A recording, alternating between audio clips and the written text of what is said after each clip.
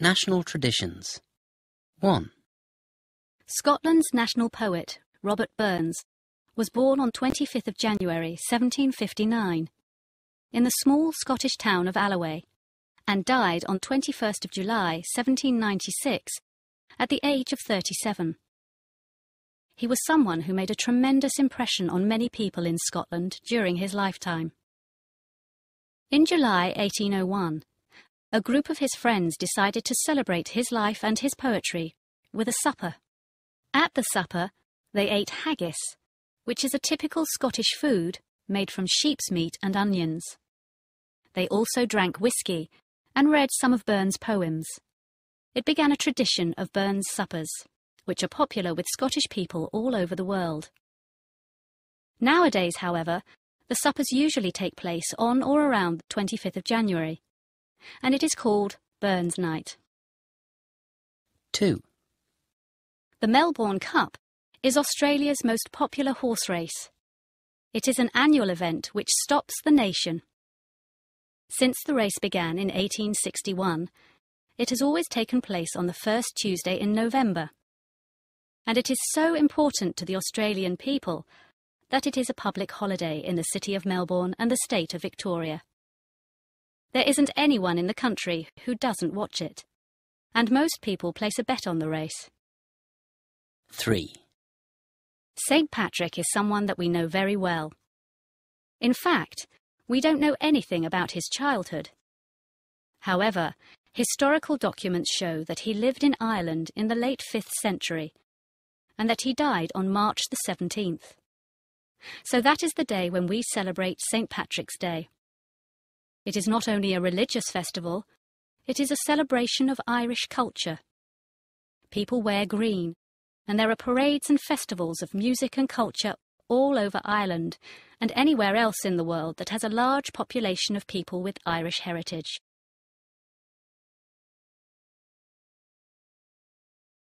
Mm. Something. Singer. Young. Long.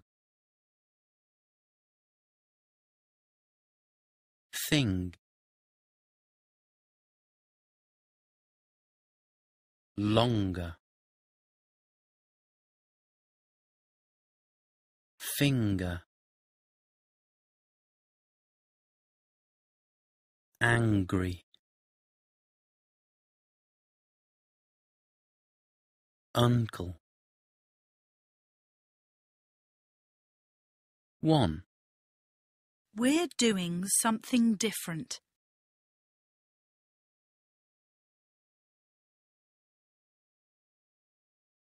Two. We're drinking whiskey and eating haggis.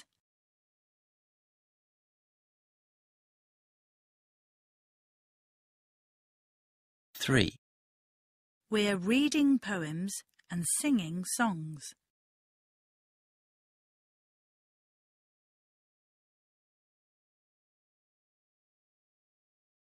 Four. It's an interesting evening.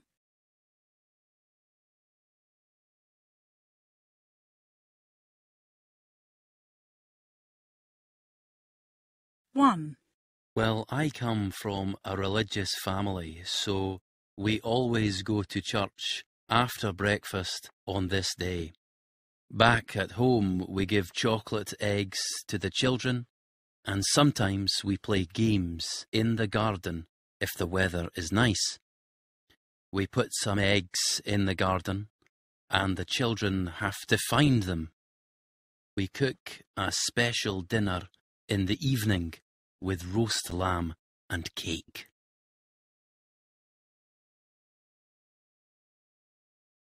Two.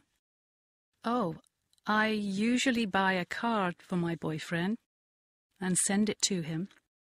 He always gives me chocolates and a card with a poem in it. In the evening, we sometimes have a romantic dinner in a nice restaurant.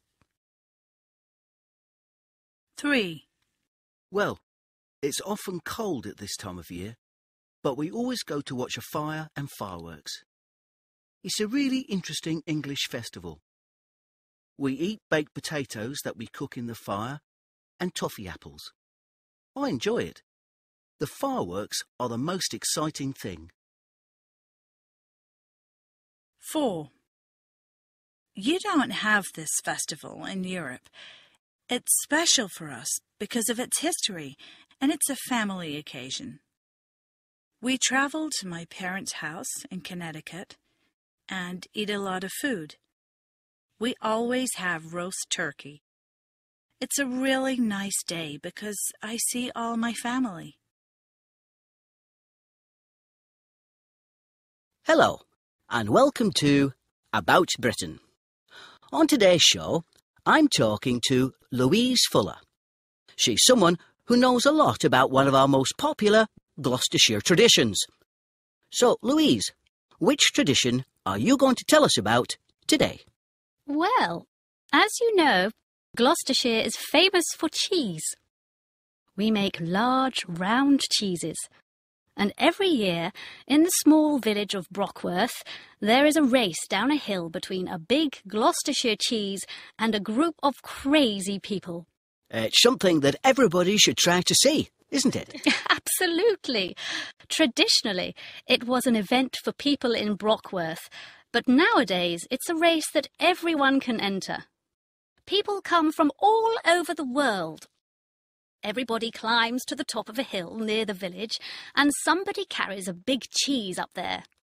Then they roll the cheese down the hill, and everybody runs after it. It's very fast and very dangerous. Do they catch the cheese? Oh no, no one can catch it. The cheese goes so fast that it is impossible. But the person who gets to the bottom of the hill first wins the cheese. Oh, right. When does the event take place? Well, every year in spring, usually in May. A lot of people go and watch it these days. It's very popular. Well, thanks for telling us everything about it, Louise. After the break, we'll be.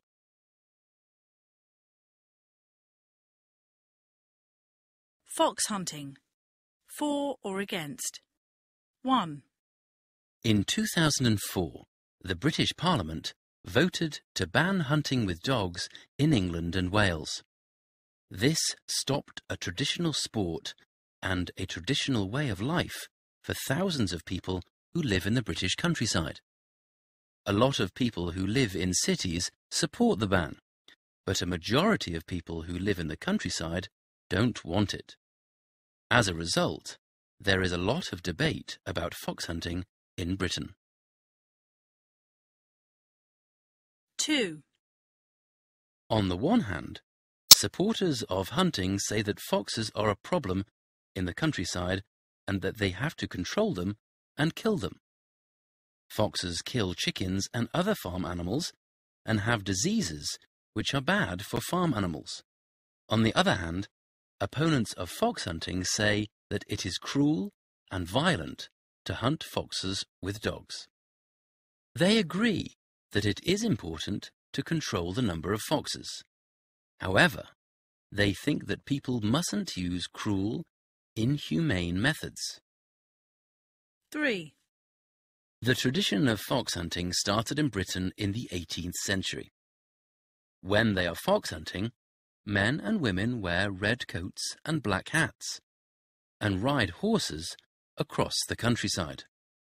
They follow a large pack of dogs called foxhounds, which chase the fox and kill it. Since the introduction of the hunting ban, a lot of fox hunting has stopped. However, some traditional fox hunts continue. These days, they follow foxes across the countryside, but they stop the dogs before they kill the fox. 4. The ban on fox hunting continues to divide opinion in the UK. Although right-wing politicians and almost everyone who lives in the country oppose the ban, left-wing politicians and people who live in the towns support it. It is a debate that is going to continue. Tell him. Lover. Get is. One. I love him. He's great. Two. Tell her I love her. 3, He broke his arm. 4, What's his name? 5, Give her the present. 1. I don't understand why you like this sport, Simon. It's so violent. Well, yes, it is. But it's also very exciting. And it's very traditional. People have done it for hundreds of years. Yes, but it's a dangerous sport. Somebody tries to hurt somebody else. True, but I like it because it's about two men, one on one. They can only use their hands to win. 2. Personally, I oppose it because it's violent. What do you think, Katie? Well, I agree with you. I think it's cruel. OK, it's part of the culture in some parts of England and Scotland and in other countries, but I don't know if it is legal. I don't know, but it is very cruel. 3. In my opinion, we don't need this sport. I can't believe that people go into the countryside and kill animals with dogs or guns. It's very cruel. I don't think so. It's traditional and natural. In nature, animals die in violent ways. I don't think it is cruel to kill animals. Do you always celebrate Passover in your family, Rachel? Oh, yes. It's a really important festival for us. When is it? Is it every year? Yes, it's in spring. But it's not always on the same date. It depends on the calendar. It can be in March or April. On the first day of Passover, we have a big family dinner. But then there is a holiday period that lasts seven days. Nobody works during Passover. Oh, right. So, what do you eat at the family dinner? Do you eat meat? Well, yes, we eat lamb. But the most important thing that we eat is a special type of bread. We call it matzah. And we also drink wine with the meal. Because it is a very important celebration, we all wear our best clothes and we use really nice plates and dishes. In fact, we have plates, dishes, knives and forks that we only use at Passover. Really?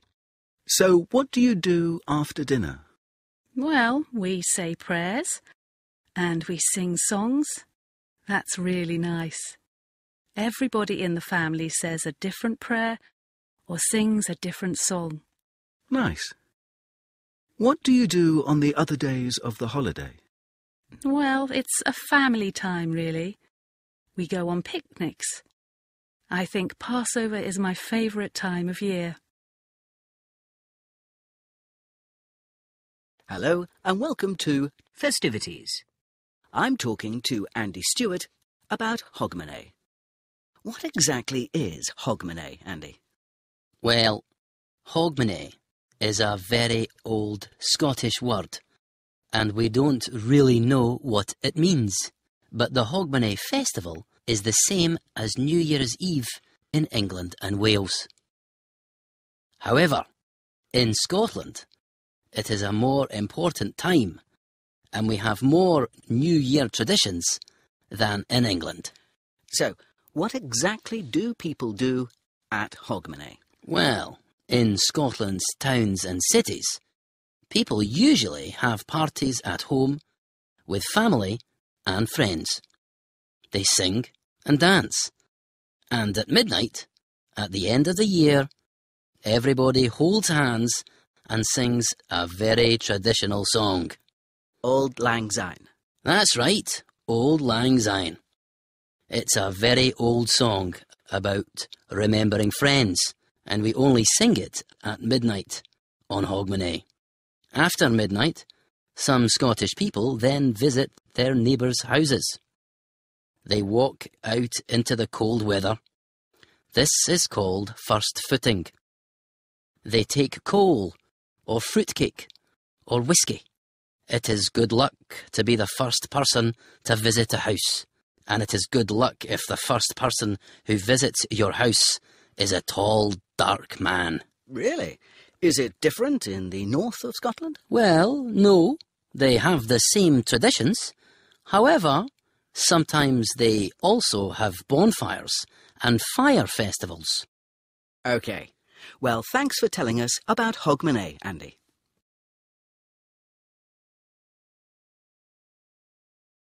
National traditions. 1. Scotland's national poet, Robert Burns, was born on 25th of January 1759 in the small Scottish town of Alloway and died on 21st of July 1796 at the age of 37. He was someone who made a tremendous impression on many people in Scotland during his lifetime. In July 1801, a group of his friends decided to celebrate his life and his poetry with a supper. At the supper, they ate haggis, which is a typical Scottish food made from sheep's meat and onions. They also drank whisky and read some of Burns' poems. It began a tradition of Burns' suppers, which are popular with Scottish people all over the world. Nowadays, however, the suppers usually take place on or around the 25th of January, and it is called Burns Night. 2. The Melbourne Cup is Australia's most popular horse race. It is an annual event which stops the nation. Since the race began in 1861, it has always taken place on the first Tuesday in November. And it is so important to the Australian people that it is a public holiday in the city of Melbourne and the state of Victoria. There isn't anyone in the country who doesn't watch it, and most people place a bet on the race. 3. St. Patrick is someone that we know very well. In fact, we don't know anything about his childhood. However, historical documents show that he lived in Ireland in the late 5th century and that he died on March the 17th. So that is the day when we celebrate St. Patrick's Day. It is not only a religious festival, it is a celebration of Irish culture. People wear green, and there are parades and festivals of music and culture all over Ireland and anywhere else in the world that has a large population of people with Irish heritage.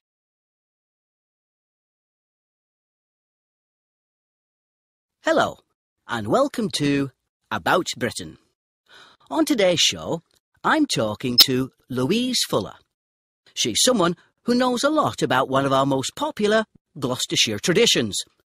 So, Louise, which tradition are you going to tell us about today? Well, as you know, Gloucestershire is famous for cheese. We make large, round cheeses. And every year, in the small village of Brockworth, there is a race down a hill between a big Gloucestershire cheese and a group of crazy people. Uh, it's something that everybody should try to see, isn't it? Absolutely. Traditionally, it was an event for people in Brockworth, but nowadays it's a race that everyone can enter. People come from all over the world. Everybody climbs to the top of a hill near the village, and somebody carries a big cheese up there. Then they roll the cheese down the hill, and everybody runs after it. It's very fast and very dangerous. Do they catch the cheese?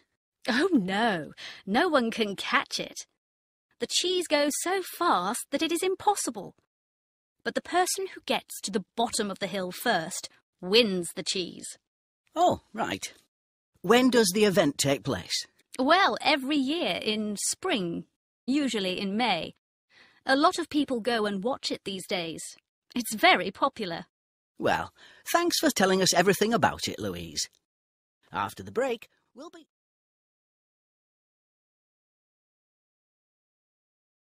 Fox hunting. For or against? 1. In 2004, the British Parliament voted to ban hunting with dogs in England and Wales. This stopped a traditional sport and a traditional way of life for thousands of people who live in the British countryside. A lot of people who live in cities support the ban, but a majority of people who live in the countryside don't want it. As a result, there is a lot of debate about fox hunting in Britain. 2. On the one hand, supporters of hunting say that foxes are a problem in the countryside and that they have to control them and kill them. Foxes kill chickens and other farm animals and have diseases which are bad for farm animals. On the other hand, opponents of fox hunting say that it is cruel and violent to hunt foxes with dogs. They agree that it is important to control the number of foxes. However, they think that people mustn't use cruel, inhumane methods. 3. The tradition of fox hunting started in Britain in the 18th century. When they are fox hunting, men and women wear red coats and black hats and ride horses across the countryside. They follow a large pack of dogs called foxhounds, which chase the fox and kill it. Since the introduction of the hunting ban, a lot of fox hunting has stopped.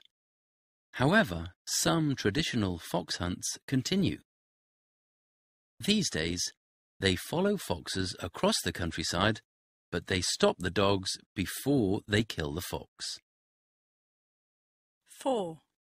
The ban on fox hunting continues to divide opinion in the UK. Although right-wing politicians and almost everyone who lives in the country oppose the ban, left-wing politicians and people who live in the towns support it.